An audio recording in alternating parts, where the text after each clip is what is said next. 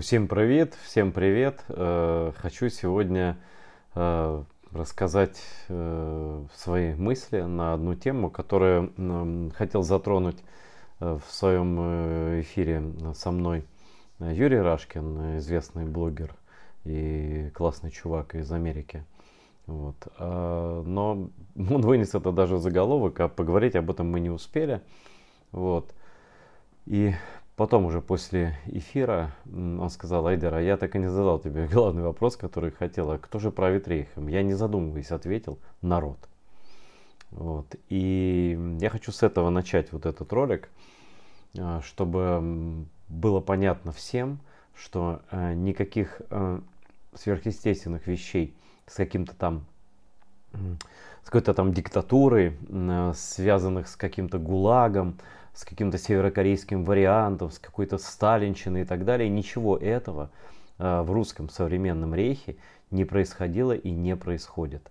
Э, это коренным образом отличает рейх от диктатуры, э, от там, не знаю, автократии, деспотии и как угодно называйте, используя любую терминологию любых времен. Это не то, что мы имеем в случае с русским рейхом. Я даже не знаю, насколько это лучше спросить у людей, которые изучали пристально, не так, как я, там несколько книг, а пристально изучали историю э, германского рейха э, гитлеровского. Насколько там э, было то же самое. Ну, я думаю, это наиболее близкий пример к тому, что мы имеем сейчас с русскими, но все-таки у Гитлера были масштабные репрессии, в том числе и по отношению, вернее, он их начал по отношению к немцам. Э, по, разным категориям немцев. Э, но не буду все это пересказывать, наверное, вы все знаете. Вот. Но э, тут же мы имеем место с абсолютно иной формой рейха. Это э, рейх, основанный на любви. Вы э, будете смеяться или злиться на меня за это слово, но это рейх построен на любви. Безусловно, это любовь пещерная, это любовь э, э, к унижению других, это любовь э, к созерцанию чужих страданий это любовь э, к мании величия, она же мания преследования, это любовь к палке по спине и бутылке в еще одном месте. Но так или иначе, это любовь, это не принуждение. Это э, Путин не изнасиловал Россию, он ее взял по любви. И когда он говорит, что я женат на России, он вообще ни разу не врет. Это одно из немногих, в чем он говорит правду. Он правду говорит всегда о своих намерениях людоедских, маниакальных. Просто его делают вид, что не слышат. И делали вид, и до сих пор делают вид, да. Вот. И единственное, что его сдержит, это личный страх, сыкливость. Ну и, конечно, вот э, правда в том, что действительно он женат на России. И Россия до сих пор да, а, может быть, отношения кто-то скажет, что подувяли чуть-чуть, а, что давно не было таких обновлений, всплесков сексуальности типа оккупации Крыма или наказания Грузии, грызунов и так далее. Вот, э, давно такого не было. Ну, планировался, естественно, вот этот вот всеобщий оргазм Киев за три дня окончательное решение украинского вопроса и так далее, но не вышло с этим как-то э, самец стрельнув куда-то там на обои, если вообще э, было что-то у него. Вот. Но ожидания были большие, но не получилось. Да? И вот как-то, несмотря на то, что он э, э, промахнулся, безусловно, из Киев за три дня, и вот с этим Пригожинским всем этим э, трэшем, тем не менее, никто не отменял и никто не только люди ангажированные или для своих целей каких-то это говорящие могут сказать, что русские разлюбили Путина окончательно и бесповоротно, как вот пролистайте ленту Ютуба. Э, Путин не то, что болен там 40 болезнями и скоро умрет, это все понятно. Вот, он только делает, что умирает. Вообще человек только и делает, любой, даже античеловек и любой даже человек, но любой млекопитающий, он всю жизнь только и делает, что умирает на самом деле, да, и ничем другим он не занят. Вот, но вопрос в сроках, да, и в предпосылках, и в причинах, и в следствиях, да. Так вот, э, он не только не собирается умирать, и он э, сейчас, вот на мой взгляд, э, да, в элитах, понятно, в циничных вот этих элитах бабловых, там все понимает, и это может быть даже и важнее, что он как бы не самец уровня Сталина, уровня там Ивана Грозного, всех его там кумиров, даже до Екатерины не дотягивает. Вот. Но что касается народа простого, вот, который, благодаря которому он стал фюрером и который несет его до сих пор, я думаю, что они к нему сейчас относятся примерно как э, к позднему Брежневу. Вот, э, что он гарантия все-таки, смотрите, как тревожно в мире. В мире-то неспокойно. А, и вот а, если не Владимир Владимирович, да, может быть, он где-то что-то и неправильно сделал, да, но он тоже человек, да. Ему виднее, с другой стороны. А ему весь Запад противостоит, да. А что мы можем сделать, да? А, украинцы же не сами воюют, это же американцы все, да. Мы же с Америкой схлестнулись, а то бы она нас оккупировала, а, а куда? Да, и вот э, на фоне всех этих трудностей, которые фюрер преодолевает спокойно, с такой бабушкиной улыбочкой, с такой вот с таким э, говорком бабушкиным, только платочка не хватает. Вот он Брежнев поздний сейчас для них. Вот. И у Брежнева тоже был, была война, да, ну другая, в другом месте и далеко и так далее. И не такая, э, как война э, с Украиной, чего он не ожидал. Но тем не менее, как бы э, он сейчас а страшно. А вот сейчас Владимир Владимирович потеряет власть, а что же будет с Родиной, с нами? Это думают об этом не только какие-нибудь губернаторы, которые всю жизнь вот просто время бы остановили и так и сидели бы на подсосе, там строили бы свои виллы и так далее, вот, э, дальше. Вот. И понятно, что непосредственно эта война, тем более в таком виде, в котором она происходит, она им не нравится, но с другой стороны им не нравится и то, если какой-нибудь другой чувак придет к власти и начнет их потрошить, а потрошить они будут, а как без этого, да? Это же русский бунт, подожги усадьбу, а что? Да, раб должен стать рабовладельцем, все как положено. Поэтому э, сейчас многие, я думаю, что и сплотились вокруг Путина так ментально, да, какой бы он ни был, и даже противник какие-нибудь Путин, смотрите-ка, какой бы он ни был, а все-таки человек слова. Вот э, сказал Пригожин, что не тронет, и не тронул. Э, без, без единого выстрела, как нам вот все, это еще с Крыма у него пошло, без единого выстрела. Значит, это их такая философия. Если ты совершил преступление, но без единого выстрела, или ты мудила полный там и людоед, но без единого выстрела, то это Чикатило хороший, значит, для них без единого выстрела, естественно, да. Вот, и они смотрят на него, а, как, с одной стороны, многие злятся, что он не как Сталин, но это на публику, понятно. С другой стороны, они радуются, что он не как Сталин, потому что был бы как Сталин, долго бы не поговорил бы ни Стрелков там никакой, ни какие-то там военкоры там что-то они там позволяют себе там где-то фрондить, да. А, и даже по их телевидению там иногда что-то там, какие-то какие-то э, сомнительные они вещи говорят, проговариваются там в рамках этого всего спектакля. Но если бы он был реально Иваном Грозным, Сталином, Лениным, э, там не знаю кем и так далее, такого бы не было. Он добрый фюрер, они его любят, в том числе и за это. За то, что он им да, э, Навальный все сокрушается, что они много украли. Да, они много украли, и слава богу, что они много украли. Да, себе на виллы, а не на ракеты. Вот, и это навальновское лобби против э, коррупции в ракетостроении в российском. Но это просто, просто сумасшедший дом. То, что их и на Западе держат, их первых надо гнать обратно в Россию. Пусть занимаются там дальше борьбой с коррупцией в ракетостроении. Безуспешно, естественно. Потому что систему такую не сломаешь. Она очень многим выгодна на самом деле. Они так живут. Да, еще воровство и украсть еще. Вот. Значит, э, но я про то, что он не является никаким э, зверем никаким. Они его любят, потому что он добрый. Это самый добрый фюрер на земле. Я много раз уже говорил, не было таких еще диктаторов. Даже условно там травоядные диктаторы какие-то, они э, все равно много людей клали убитыми, там репрессировали семьи, там репрессировали ГУЛАГ и так далее. Так в России такого нет. В России меньше политзаключенных, они пытаются все их насчитать огромное количество, но во всей России меньше политзаключенных, чем э, представители Крымлы, коренного народа Крыма, которых они арестовали и вывезли на территорию России. Их больше, чем э, представителей народа, которых в тысячу раз меньше, чем вообще всей Украины. Одна тысячная, это крымские татары, Крымлы, правильно так называть, крымцы. Так вот, э, и даже представители моего народа э, в тюрьмах э, русского рейха больше, чем русских диссидентов всяких там, политзаключенных, они еле-еле там насчитывают это, да, сравнить, да, 146 миллионов там и 300 тысяч людей оккупированных, да, вот. 146 а миллионов прекрасно себя чувствуют, практически никто не посажен, а кто посажен, ну, в общем, это часть системы. Навальный, который сказал, что оккупация Крыма это зашибись, но чем он не часть системы? Он же открыл дорогу дальше к полномасштабной войне. И с Грузии еще это началось, с грызунов, с ненависти ко всем нерусским, которые он культивировал вместе с властью, хором с властью.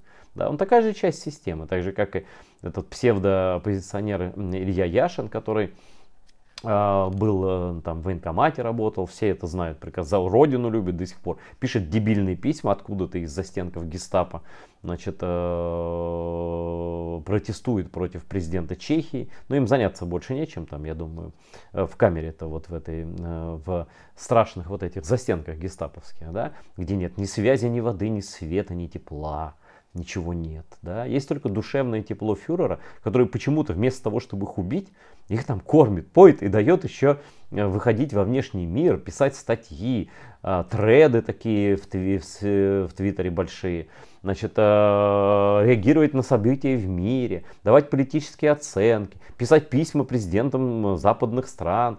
Да, ну что-то такого я не помню, ни в какие времена, даже при Брежневе позднем такого не было.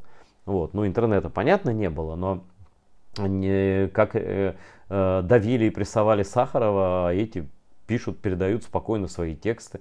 Э, Сахаров, чтобы текст передать за границу, это была целая история. Там у него портфели воровали и так далее. А тут из тюрьмы, да пожалуйста. Вообще красота, да? И все это вообще попахивает большим фейком, когда говорят, вот у Навального нет даже карандаша и бумаги, дайте карандаш и бумагу, ему нечем писать и ничего он не знает, и радио все отключили, потом проходит три дня, его заявление на актуальные темы, и карандаш, и бумага, и, его этот э, лжецы, там, э, э, манипуляторы говорят, что он, и да, он из камеры нам присылает эти твиттеры твита, а как такое может быть, а как тут э, одно с другим не сходится. Но их это не волнует. Понимаете? И все эти политэмигранты российские, там на самом деле, вот реально посмотреть, уголовные дела есть на меня, э, на Аркадий Бабченко, еще с каких непонятно лет там они все, потом они засекретили эти дела, я даже не знаю, какой у меня приговор, уже три года они там судят, заочно арестованы и так далее. Вот. А у всех этих людей, у всех этих беглых эховцев Москвы, которые сейчас за раздел Украины агитируют, помиритесь на тех границах, которые есть, вот иноземцев, подонок, э, выступил бывший мой знакомый, значит, э, передайте ему мое презрение, э, выступил за то, чтобы оставить России оккупированные территории и помириться таким образом. Пусть он кого-нибудь из своих близких отдаст Путину и мирится с ним потом, ладно? А морал абсолютно бесстыжий человек, я очень сильно в нем заблуждался. Ну так вот, неважно, они все свою функцию делают. Так вот, все эти люди, все эти люди, они не подвергнуты никаким репрессиям. Запад их привечает, просто в командировочной показывают, я иностранный агент. И Запад, о, гонимый человек, надо же, иностранным агентом признали. А что из этого следует? Да ничего, это охранная грамота. Ничего из этого не следует. Плюс пропуск в западный мир, в любую страну, где вот этих вот либералов принимают, где они потом организуют дожди, медузы и прочую там мокроту разводят, да, начинают плевать в Украину. Редакция BBC плюет в Украину русская, э, значит, каждый день. Они каждый день про российские материалы выпускают. Значит, я уж не говорю про эхо, там, про все эти новые газеты, медузы и так далее. Вот, это все тоже часть отряда Рейха, который спокойно может и летает, я уверен, и ездит в Москву и обратно. И все у них нормально, и квартирки они там сдают, и все они живут там прекрасно. У всех все зашибись, да? И это все называется массовой путинской репрессией. Страшный фюрер построил страшный кровавый рейх. Где он кровь проливал у вас там? Такую, которую можно было сравнить даже с тысячной долей крови, которую он пролил в Украине, и которую вы в упор не замечаете, говорите про наших мальчиков, там так далее, э, несчастных, да нигде. Потому что вас он не трогает. И вас он вполне устраивает. И фюрером он стал, и к русским обращать. Только потому, что вы этого захотели. Потому что вам понравился Штирлиц, вы Штирлица выбирали. Вам понравился характер нордический, э, маньяк э, обыкновенный, э, добрый. Вот. Первый в истории человечества э, тоталитарный или там авторитарный правитель, наверное, который настолько добр, то есть э, его доброта, э, она просто не знает никаких границ по сравнению к своему плебсу. Это э, и при том, как он показательно жесток по отношению к другим людям, да. Вот, например, а, ну, Гитлер до такого не, не опускался совсем уже, да, вот до такого, чтобы бомбить германы и города, которые по-немецки говорят э, люди, да, а он спокойно, украинцы для него не люди, э, многие до сих пор этого не понимают. Вот э, на Троещине э, мой товарищ э, видел подростков, которые русскую музыку слушали, он колонку разбил об стенку там, перестали слушать. Вот из Бахмута слушали русскую музыку, так и не поняли ни, ни что к чему. Так ему все равно, какие украинцы говорят, а может быть, если они говорят на, по-русски, так еще и больше их надо наказать за это. Вот так он мыслит, да, людоедский. Он целые города и села уничтожал людей, которые, э, блин, и даже русское телевидение смотрели, и сериалы, там, и все, и русские песни пели, и до сих пор вот еще не прошло у некоторых, да, мало, видать, было. Вот, полного изгнания, потери всего. Но этого люди тупые, непроходимы. Их, конечно, меньшинство, но они такие тоже существуют. Вот это тоже продукт русского мира, да. То есть все равно русские хорошие, все равно ничего там, да, они все равно, ну да, заблуждаются, да, как и на Западе, но они заблуждаются, но вот они все равно же хорошие, там Чехова читали, там, вот, Муму и так далее. Вот. И вот этот вот, э, и одновременно уничтожая всех, э, на кого просто как посадистски, наиболее кроваво, Мариуполь, Буча, расстрелы, убийства, изнасилования детей и так далее, да, к своим он, вот в своей э, Раше, которая его выбрала много раз президентом, э, и ну, понятно, что это фюрерство абсолютно, он относится хорошо, он им благодарен. Он их не трогает, по сути дела. Он их нормально кормит. Он даже всеобщую воинскую обязанность не объявил. Да? Он э, не закрывает границы. Это лучший рейх, который существует. Понимаете? Они поэтому так и разбегаются оттуда, сбегаются туда. Так и за свой рейх переживают, чтобы, не дай бог, он не развалился. Конечно, фюрер-то добрый, нормально все. Все хорошо. Просто нового фюрера надо, еще более доброго, какого-нибудь Навального. И дальше будем жить, как жили. Да? Вот. И это их абсолютно рейх э, держится, э, источником власти в рейхе всегда является народ. Никакой не фюрер. Если бы народ был против, его бы не было бы ни секунды. И он это прекрасно понимает. И вот эти кровавые шоу из Украины, ракетные обстрелы, то, что они показывают каждый день по телевидению, да, это как раз показатель того, что люди, э, значит, э, знают, э, Путин знает, чем кормить свое население. Он и сам удовольствие получает, и им кормит. Вот это все. И они абсолютно довольны. Их никто не трогает. Бухла полно. Западные санкции полная фигня. Все у них там есть, ну, на уровне потребления и так далее. Практически все. Все нормально, фюрер добрый, никаких массовых репрессий. Смотрите, он никого даже после, после бунта не казнил. Такой немыслим ни при Екатерине, ни там, тем более при Иване Грозном, ни при Сталине. Добрейшей души маньяк. Добрейшей души маньяк. Да? И их устраивает. И они его никогда не свергнут. Никогда они его не сбросят. Это возможно только внешней силой. Никак иначе. Это только могут прийти тогда, да, они раздвинут, кстати, как обычно, свои там эти самые булки и скажут, ну да, вот э, новая власть пришла, надо, надо слушаться, подчиняться. Но сами они ее никогда не скинут, потому что, э, ну, как, как, зачем скидывать того, при котором ты комфортно, нормально живешь, да? И который тебе дал, подарил эту всю безбедную жизнь на нефти, на газе и так далее. За что, собственно, они должны, то, что они там недовольны, кто-то Путин, да вы в жопу должны его целовать. А вы никто, звать вас никак. А, значит, вы ничего не делаете, ничего не производите, а, кроме впечатления мудаков. А он вас ведет и за собой, и без принуждений, сами, все сами. Сами работаете на военных заводах, сами идете в армию за деньги большие, убивать террористическую и так далее.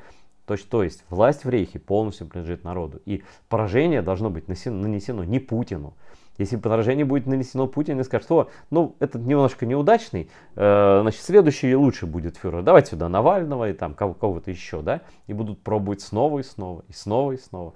Поражение должен потерпеть этот народ, который привел его к власти, который обожает его до сих пор, да, даже если ворчит, да, и который абсолютно либо молча, либо активно соучаствует в геноциде украинского народа. Если не будет наказан этот народ, наказана эта преступная группировка под названием «Русские» через Z, да, уже теперь окончательно ясно, что это не название этноса, а состав преступлений. Ничего не изменится. Власть, источником власти в этом рейхе есть население.